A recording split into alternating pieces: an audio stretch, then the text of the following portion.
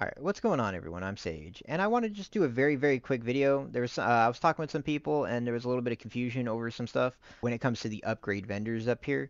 Uh, and mainly, I mean, right here, it's pretty easy. It's right across from Brian.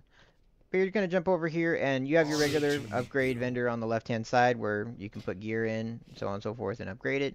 Uh, but on the right side, you have your uh, vendor that you can upgrade crest with or downgrade crest with. And people are getting confused because all of these look the same.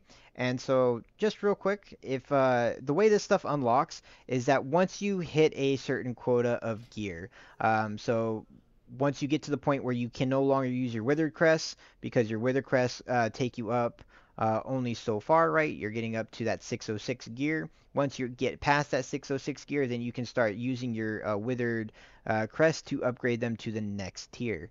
Um, and you do that through these uh, up here. So right here, if you can see that it's asking for carved harbinger crest in order to buy uh, 15 harbinger or 15 harbinger crest. Uh, but this is runed harbinger crest. Um, and it gets confusing because all of them are harbinger crests. Uh, but you have gilded, um, weathered, carved, and then runed, uh, which is down here. And just make sure these ones up here, the ones that have 15 on them, is how you distinguish what you're doing. The 15s are downgrading. You're spending a higher tier to get 15 of a lower tier. The ones where you're going upwards are 90.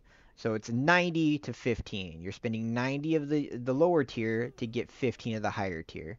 So just make sure that you guys don't accidentally screw this up and end up purchasing and downgrading your high-end uh, crests going downward, but also use it to your advantage the moment you can so that you can get the higher tier crest. Because right now this thing is don't do it. Uh, this is telling me don't do it because I'm already capped out on those crests uh, as far as getting what I can through the season rewards. So if we go over here to our uh, our runed harbinger crest right here it's saying I'm at 90 it says that I have enough of these carved harbinger crests because I have over 90 of these to get 15 of these but it counts towards your season maximum so you don't need to spend this on it unless you just want it very quickly uh, because you're going to get these from you know mythic plus and stuff in general. But if you just want to have your upgrade materials right then and there you can upgrade them.